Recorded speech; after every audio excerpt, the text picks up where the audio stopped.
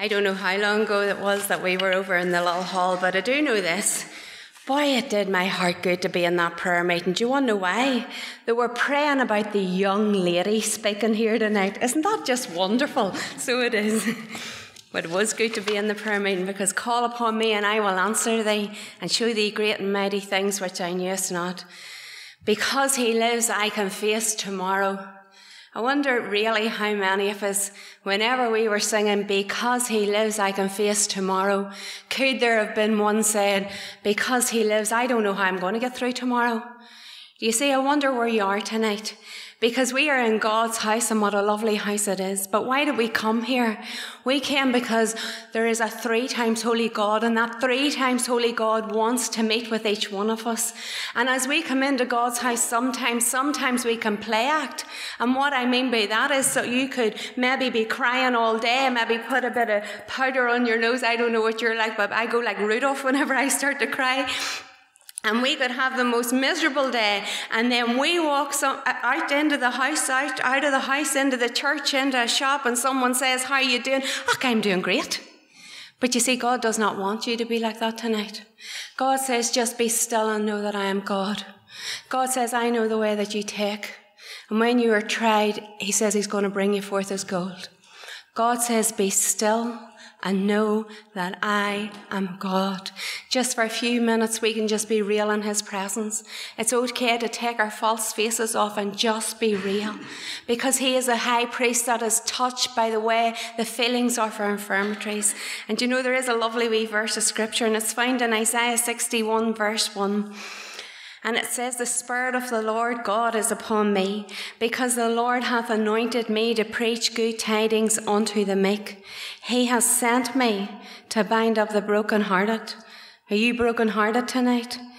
And yet the Spirit has come to bind up your broken heart, to proclaim liberty to the captives, and the opening of the prison to them that are bound. And I wonder tonight, is someone bound in sin? I wonder, is someone shackled? Sometimes, as you will hear my testimony, I had many open sins, open sins that the world could see. But perhaps there's one sitting even in our midst and that you have hidden sins. And Jesus says, Come to me and I will set you free. Jesus says, Come to me and I will give you life and I will give it to you more abundantly. He says, I will meet you at the point of your need. But He just wants us to be still. Just be still and know that He is God. No play acting. It's okay to be real. Just cast your care upon him. Why? For he careth for you. I wasn't born into a Christian home, but and I really can't remember a lot about this apart from this. Whenever I was about three, my daddy got saved. Now, how can I remember that? Well, I remember around that age that it was my very first memories of going to children's meetings. Now, I like to think that it was because my father was really just looking me to hear the word, and I do know that. That is why he sent me out to hear the word. It would never have been just to get rid of me for a wee while, so it wouldn't. Could you ever imagine that? But whenever my daddy got saved, the Bible says, if any man be in Christ, he is a new creature. My father used to be a barman and God closed that door because if any man be in Christ, he is a new creature. It was at the end of my first year in Sunday school, and there was this little old man. Well, he looked old to me then, and his name was Theodore Dancing Smith. And I do not know what he really spoke about that day. I cannot remember that. But I remember after that meeting that my sister in our church in Banbridge, my sister, she was speaking to him. Now, I wouldn't want you to think that I was nosy. but off I went over to see what, what she was talking to him about. And he was telling her the way of salvation. And you know, it hasn't changed all these years later. It's about believe on the Lord Jesus Christ and thou shalt be saved. And as a little girl, some people say that children can't get saved. That's a load of rubbish. Christ died for our sins according to the scriptures. And as a little girl at the age of four, I knew that there was only one way into heaven. And maybe you have heard the, well, sort of the beginning of my testimony. Maybe you've heard this story many, many times before, but I make no for it because it is my way. My story is not your story. Your story is not my story. But this is my journey that began, and my journey as a Christian began on the 8th of June 1975. Whenever I prayed that little prayer at the age of four, come into my heart, Lord Jesus. Come in today, come in to stay, come into my heart, Lord Jesus. It has to be a personal prayer. You must be born again. And can I ask you that right at the very outset of this lovely meeting? Are you born again? Do you know it's great to go to church, but I'm not asking you to go to church. I'm asking you, do you know? Maybe you do not know a date. Maybe you do not know what time it was on the clock. But do you know that you had an experience with God? Do you know that He forgave you for your sin? Do you know that He washed your sin in His precious blood? Do you know that He promised to take that sin and never to remember it again? Do you know that you're blood bought and blood washed on your way to heaven? And yet, if there was a little question mark in any of those questions that I asked tonight, if you hear his voice, harden not your heart, and you can know that tonight. And I suppose as a wee girl, it was really easy to walk with God. Our brother asked me in the way in the door, he says, Are you the singer? Well, I don't know about that, about me being a singer, but I do remember many or a few years ago, I was driving along in the car and my father was really, really ill at this time. And he was singing that song, He leadeth me, He leadeth me, by His dear hand, He leadeth me. Well, I thought I would bless the man. And I'm driving along and I decided to sing, He leadeth me. And I can honestly say I sang that from the bottom of my heart. And you know the little saying, pride goes before fall? Well, I actually thought to myself, Jeanie, you didn't sing that too badly. And I, in my heart, you didn't sing that too badly. And my daddy just looked at me like, he says, I wish a really good singer would sing that to me. But you know, isn't it great to have a song in your heart? Isn't the love of Jesus something wonderful, wonderful, wonderful? Friend, can you sing that tonight that the love of Jesus is something wonderful? Do you know him as your personal savior? And as a wee girl, many times I used to sing for the Lord, used to testify for the Lord. Uh, times have changed. They used to get a box and put me in the back of a box. I'm not going to take them off, but thank God I've got the high heels on so that you can see me tonight. But then I went into high school, and whenever I went into high school, I can honestly say that I went in with good intentions. And yet there is a little saying here that faraway fields look green. And we know that the road to hell is paved with good intentions. My father bought me a little Jesus key, and it was back in the day of the V-neck jumpers. And I remember thinking, I am going to be a missionary for God. I am going to win my friends for Christ. And then, if you think that, if you're walking with God, you can be sure there's an enemy at your back.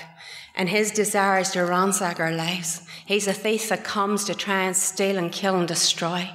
And yet, my brothers and sisters, God did not say that it would be easy to walk with him. He said, as it was prayed in the prayer meeting, there'd be a spiritual warfare. But the battle's already won because the battle is His. And if we are blood bought, the enemy's desire is to get us away from Christ. And if we are not saved, well, He wants you to look at that, that window and He wants you to look at your clock and He wants you to think, and yet God says, whatever your circumstance in life, if you're not saved, come to me and I will give you life. If you are saved and you're going through the valley of the shadow of death, come and I will meet you at the point of my ne- your need. And yet in my heart, I started to look at my friends. And instead of running to the book and getting my guidance from the book, there is a way which seemeth right unto a man, but the end thereof are the ways of death. And my friends told me that there was a teenage disco going on.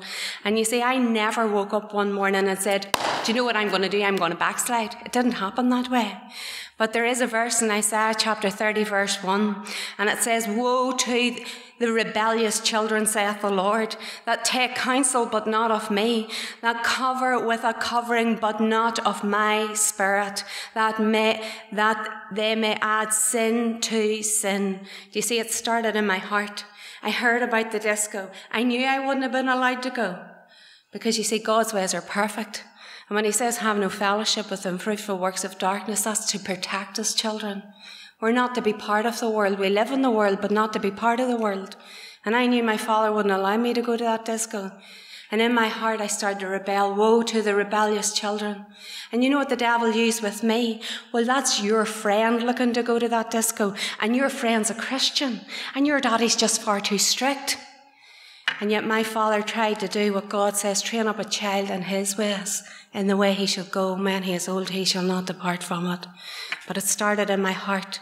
And I thought if I go to that disco, It'll be okay as long as my daddy didn't find out. And sin added to sin, added to sin. Started with the heart, then I'm in the disco. And then whenever I'm in the disco, and I was asked to go outside. Well, to tell you the truth, and there's no point telling lies, there was a few good looking fellas looking to go outside as well. So I said, Well, I'll go. And a bunch of my friends and I went outside. And whenever I was offered that first drink around the back of Banbridge swimming pool, sin will take you further than you want to go. Sin will cost you more than you want to pay. And young person, thank God you're here tonight. And Jesus loves you. But you have an enemy and you don't need me to tell you that because you know if you're saved the struggles that you're having. You know when your friends are doing this and when they're taxing this and when they're looking at this, you know how hard it is to be different. And the devil says, come. And the devil says, play with me. And you know what the devil actually does? He gets you into his playground. And whenever he gets you into his playground, he'll kick the tripe out of you. And he'll just leave you ransacked. But sin will add to sin, will add to sin, will add to sin. And standing with that first drink in my hand, one little drink won't do you any harm. My friend, of course, I didn't know then what I know now. And alcohol is a drug. The number one reason for healthcare problems in Northern Ireland is because of alcohol. And alcohol has no part. I, I personally believe alcohol has no part in a Christian's life. You take a little drink and it goes down your throat, it trickles down your food pipe, it causes cancer in your mouth, it causes cancer in your throat, it causes cancer in your food pipe. Your heart starts racing, your blood pressure starts rising, it can bring on heart attacks, it causes ulcers in the stomach, and then it travels to your brain. And what does God say? God says we are to be of a sound mind. And when the alcohol travels to your brain, you're not of a sound mind. And I have to be honest, at the beginning, taking that first drink, I thought it was great. And yet God's word says there's pleasure in it. He didn't say there wasn't. He says there's pleasure in it, but it's only for a short time. He'll call you into his playground and he'll kick the tripe out of you. And that was around the age of 13. But whenever I was 15, and actually this had happened whenever I was 14, I just didn't tell my parents until I was 15. I remember lying in my bedroom and I'm waiting on my dad coming in. because my mummy had just told him that I was already pregnant. And sin would take me down a road that I never imagined I would walk.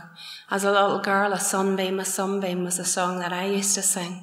But here I am at 15 and I'm pregnant. I had a little boy and then I left the family home at the age of 17.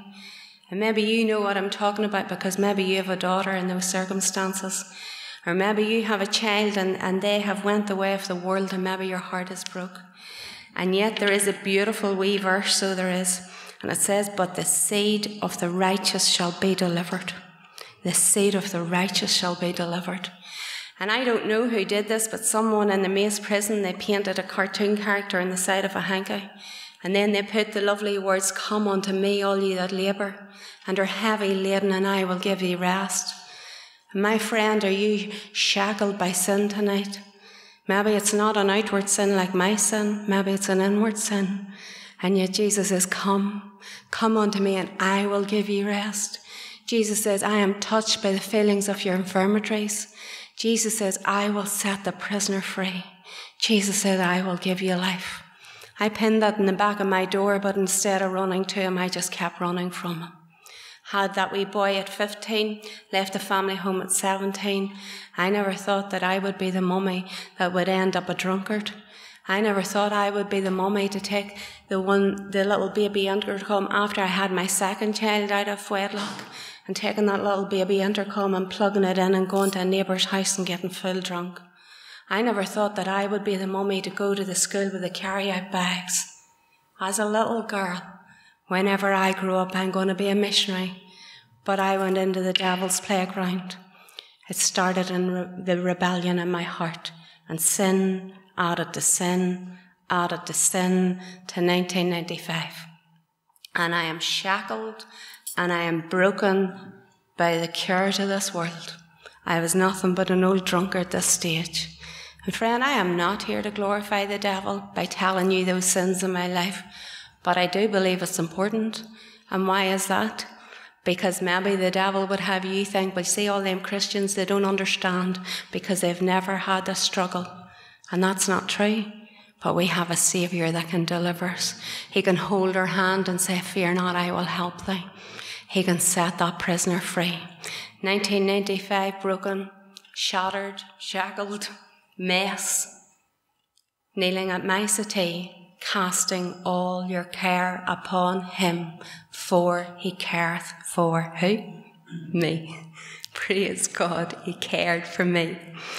I remember praying that little prayer. I came to a crossroads in my life.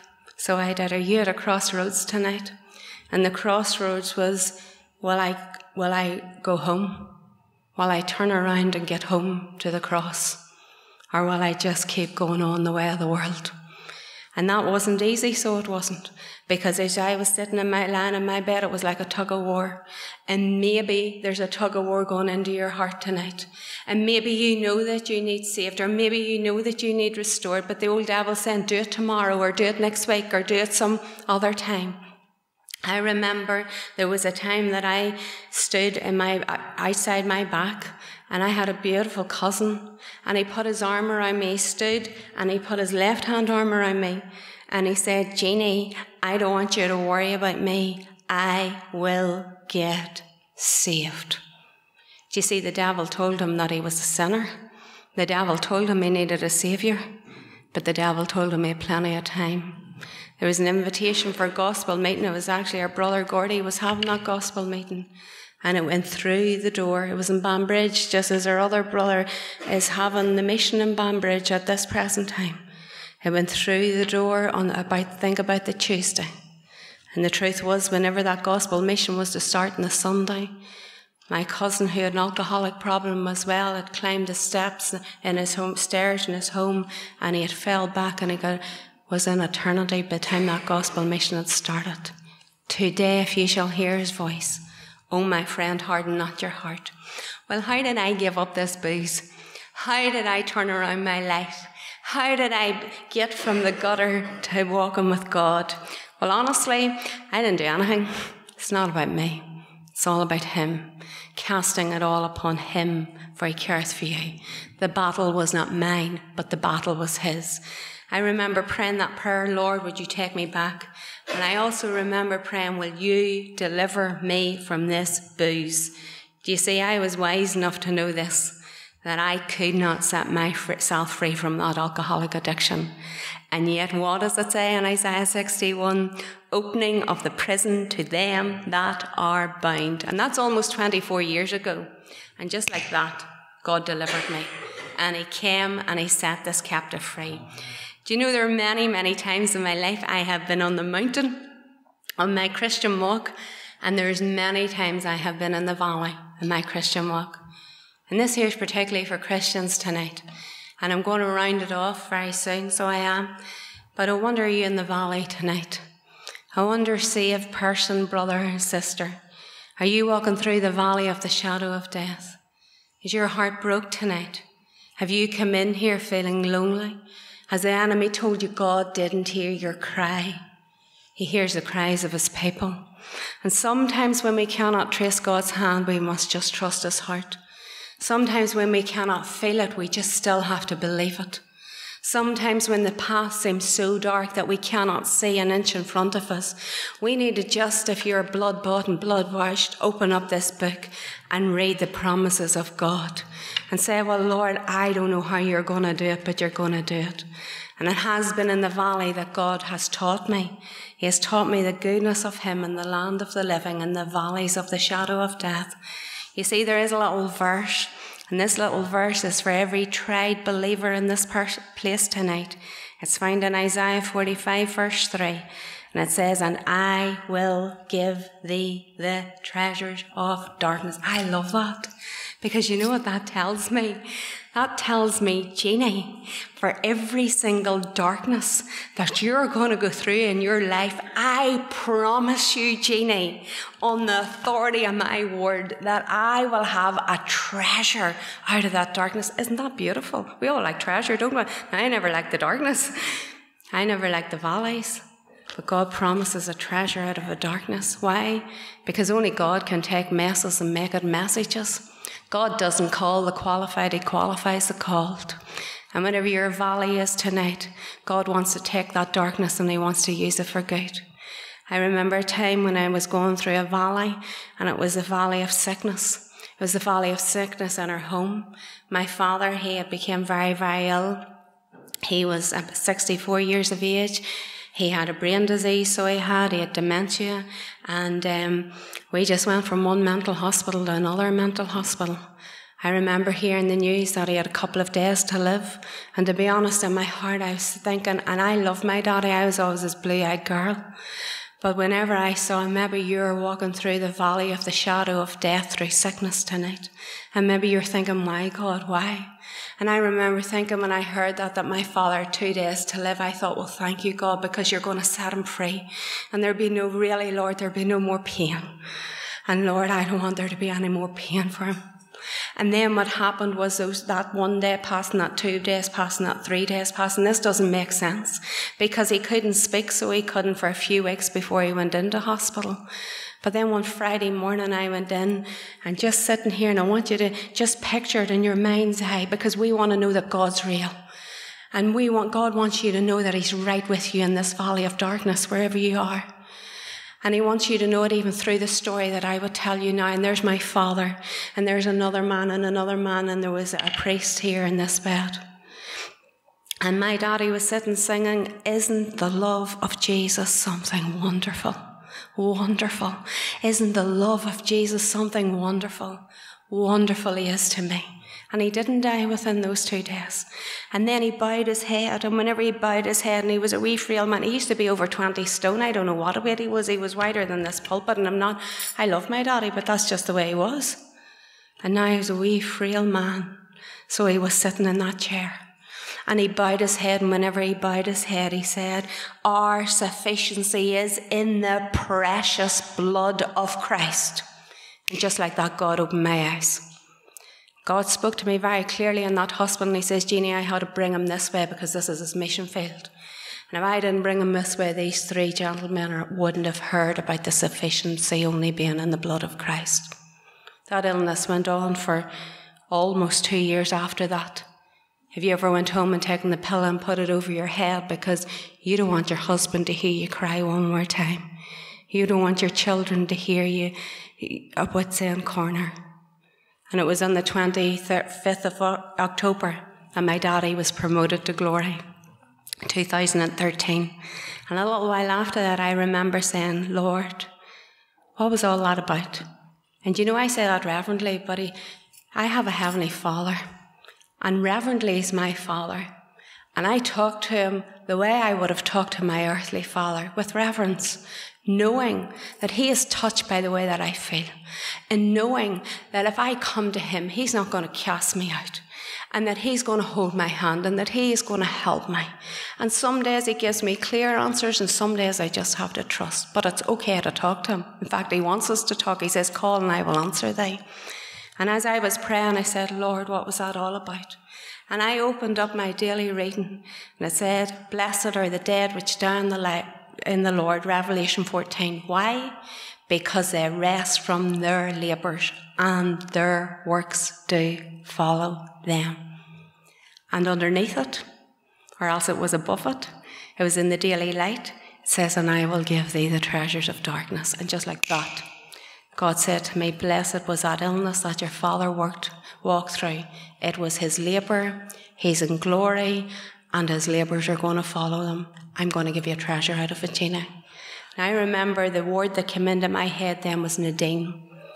And I went to my son and I says, Kyle, I really do believe that God's going to save Nadine, and it's going to be because of Daddy's death. Well, to cut a very long story short, the next morning I lifted my phone as I woke up and there was a little text message. And guess who it was from? Nadine. She did not know the verses God gave me. She did not know the conversation I had with my son. But this text message said, Jeanie, I just want to tell you that I got saved. You know the wee song, There's a new name written down in glory. Well, I did dance that around my house that day, so I did, because his works followed him into glory. I said to him, Why, why, Nadine? Why did you do it? Because I knew what God had given me. And I wanted to see, was this really my treasure out of darkness? And she said, Jeanie, whenever I sat at your daddy's funeral that day for the very first time I saw Jesus died for me, she was truly a treasure that came out of that darkness, the salvation of her soul, and now she's my daughter in law. I'm ended now. He's brought me through the valley of shadow of death. He has taken me into intensive care ward where I sat with my 15 year old son on a life support machine because of illegal drugs. And today I say that one day, whenever I was sitting outside Mullavilla Primary School, at Wits End Corner, I says, God, I need you to speak to me. And I opened up the word because that's how he talks. He talks through his word. And he says, Jeanie, I have saw his ways and I will heal him. And you see, when he said that to me, I was thinking he's a drug addict. I go to bed at night and I pray, please, God, waken me up if he's going to end his life. And time and time again, just in the middle of the night, that's what happened. Just out of my sleep and down I went. And God had woke me up because that's exactly what was going to happen. And yet outside this school, God said to me, and sister, I couldn't see it. I couldn't see it. God's going to, I have saw his ways. I will heal him. I will lead him also and restore comforts unto him and to his mourners and I couldn't see it. But I took that word and I wrote that out. And every day, sometimes it felt like nearly all day, God, I can't see it, but you promised it. And you're not a God that you should lie. And you know what? God has set that prisoner free, and today is a child of God's. So whether you're in the valley of the shadow of death, whether you've got a crisis in your life, Save brother, save sister. God says, I will give you the treasure out of darkness. But you must cling to him. If you are not saved, today, today, if ye shall hear his voice, harden not your heart. My eldest son was on the clean side of the broad road. He sat in Loughbrickland Mission Hall one night, so he did. And God had very clearly, and there's a whole story to this, how I can tell you how God had very clearly showed me that that was the last chance that he was given. There's two roads. The clean side, the, or there's the road to heaven, and then there's the road to hell. But on the road to hell, some people say there's a clean side and a dirty side. There's not, there's just one road. But the drug addict of my son, he thought he knew he was on the dirty side. Do you see my other son? He preached to the country, but he was still on the same road.